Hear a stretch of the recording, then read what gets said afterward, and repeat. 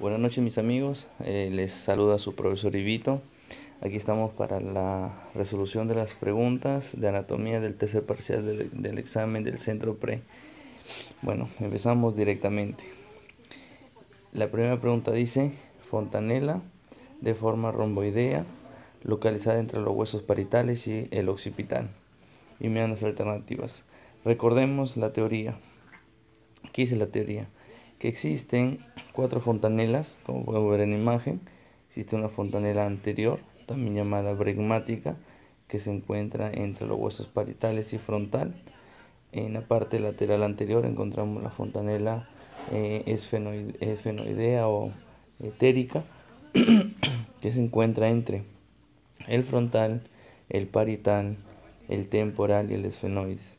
Hacia la parte posterior encontramos la fontanela posterolateral, llamada también astérica, la cual se encuentra entre el parietal, occipital y temporal. Y más, más hacia la parte posterior, de una forma eh, romboidea, también la fontanela landoidea o posterior, que se encuentra entre el parietal y el, y el occipital. Esas fontanelas son espacios del mesénquima eh, que se localizan entre los huesos del cráneo que están presentes en el momento del nacimiento. ¿no? Y aquí podemos apreciar otra imagen donde vamos a ver ahora ya las, la forma eh, y, la, y el tiempo en el cierre. ¿no? Por ejemplo, la bregmática es la última en cerrarse entre 18 y 24 meses.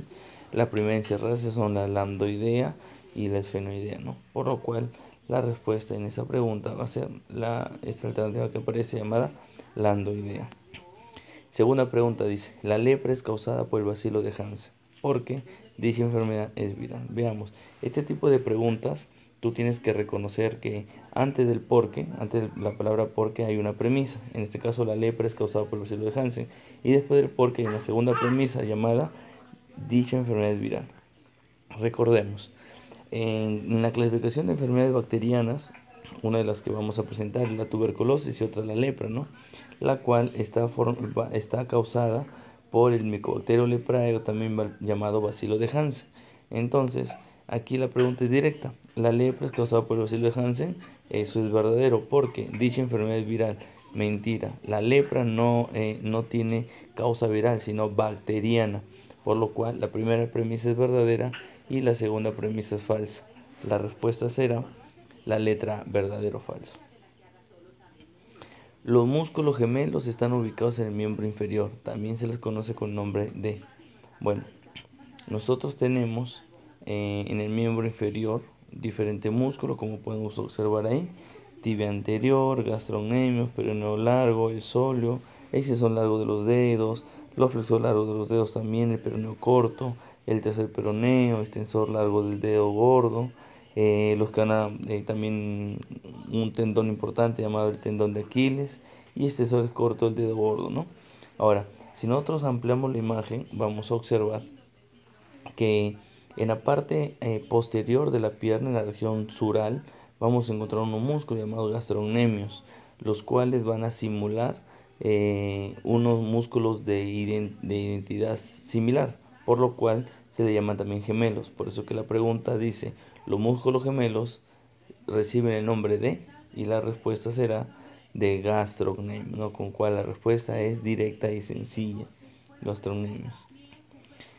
Una de las siguientes es característica de la sinapsis eléctrica. Si tú recuerdas los dos tipos de sinapsis, tenemos una sinapsis química, la cual está dada por neurotransmisores, encontramos, eh, va a haber una comunicación a través de los neurotransmisores, va a ser lenta, va a ser unidireccional, mientras que las sinapsis eléctricas utilizan iones, son rápidas, son efímeras y de transmisión bidireccional, ¿no? o sea, en ambos sentidos.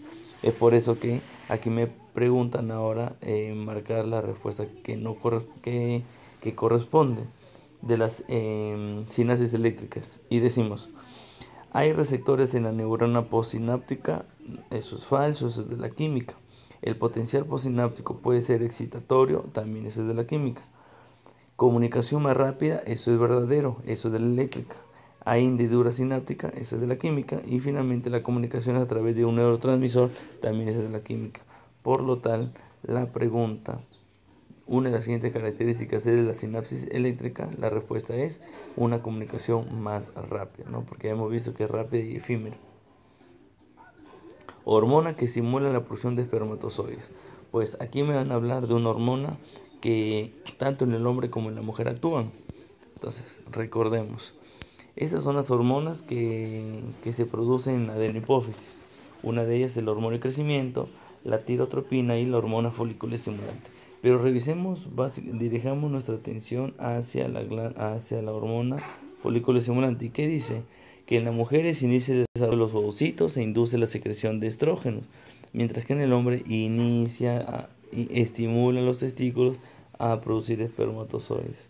Por eso que en la gráfica anterior nosotros eh, eh, revisamos aquí, nosotros revisamos, aquí está, mira la folículo estimulante y nosotros vamos a tener esto, este resumen, donde compara la folícula estimulante y la LH. La folícula estimulante en la mujer, crecimiento del folículo y estrógenos, mientras que en el hombre, espermatozoides. La, la LH en la mujer, maduración del folículo de Graf, la ovulación y el cuerpo lúteo, mientras que en el hombre estimula la célula de la idea por testosterona, por lo cual la respuesta es folículo estimulante. Respecto a la circulación mayor, esa pregunta siempre suele venir y como yo les recuerdo, las circulaciones inician en los ventrículos y terminan en las aurículas contralateral. ¿Qué significa eso? Que van a aparecer al lado contrario. Si inicia en el ventrículo derecho, terminará en la aurícula izquierda. Y si inicia en el ventrículo izquierdo, terminará en la aurícula derecha. Entonces, vamos a ver primero la imagen. ¿Qué dice el tórtora? El tórtora menciona unos números donde la sangre sale. Por ejemplo, el número 7 representa el ventrículo izquierdo. Del ventrículo izquierdo va a seguir el 8. ¿Y qué es el 8? El 8 es la arteria aorta. De la arteria eh, aorta sigue el 9, que son los capilares sistémicos tanto en la cabeza como en el miembro superior e inferior. Y luego todo esto se reúne a 10, la vena cava superior e inferior, terminando en el número 1, llamada aurícula derecha. Entonces, y eso se repite constantemente. Y a eso le vamos a llamar la circulación mayor y circulación menor. Pero también tengo una imagen donde me va a ayudar mucho más. Por ejemplo, circulación mayor, también como le llaman, aórtica sistemática.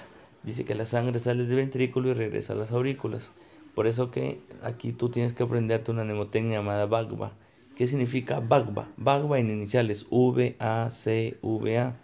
Donde V significa ventrículo izquierdo, A significa arteria aorta, la letra C significa capilares corporales, la letra V, venas cavas tanto la superior como la inferior. Y 5, la aurícula derecha. Entonces, ya habiendo recordado, o si gustas, podemos observar ahí, mira, yo te ayudo. En donde está en medio dice BI, donde ventrículo izquierdo. Después esto sigue por la arteria aorta. Baja, baja, baja, baja, baja la arteria aorta. Hasta llegar aquí, ¿no? Aquí es el intercambio de oxígeno y CO2. Luego todo esto regresa a través de la vena cava inferior y todo llegará a la aurícula derecha. Entonces, esa es la circulación mayor y la circulación menor pues también va pulmonar funcional.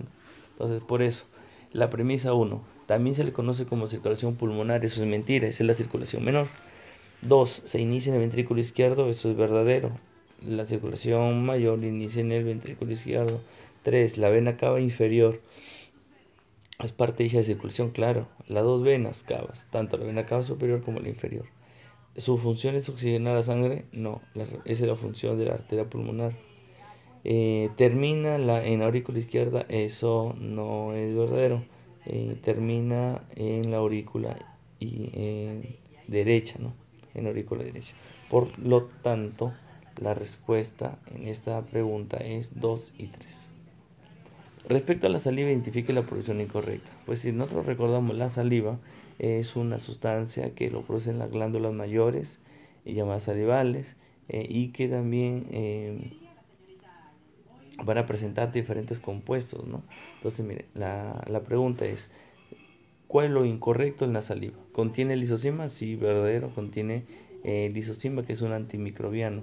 la estimulación simpática aumenta su secreción, ahí tenemos que detenernos porque el simpático, el sistema nervioso simpático a nivel de la vía urinaria inhibe justamente la secreción de cualquier, cualquier mucosidad o, la producción de un líquido. Pero acá me mencionan que estimula la secreción. Eso es mentira, esa es, la respuesta. El volumen es de litro a litro y medio, verdadero. Tiene un pH de 6.35 a 6.85, verdadero. Contiene el monoglobulina, también es verdadero. Por eso la respuesta la, la marcamos si es la letra B, ¿no? Bueno, hasta aquí espero que esté siendo preciso para que tú puedas recordar. Dice que el lugar de las vías urinarias donde se localiza el verum montanum. El verum montanum eh, es una zona eh, donde desemboca eh, la vía biliar. Vamos a ver. Recordamos la imagen, ahí está en las tres partes de una uretra masculina, la uretra esponjosa, la uretra diana y, la, y la uretra esponjosa. Uretra prostática membranosa y esponjosa. La prostática es una porción que se localiza en la próstata, la membranosa atraviesa el diafragma urogenital y la esponjosa pasa, pasa por el cuerpo del pene. Entonces, la pregunta es directa, ¿no? El verum montanum, ¿dónde se encuentra? Y la respuesta es la uretra prostática. ¿Para qué sirve? Para desembocar la vía espermática y la vía biliar.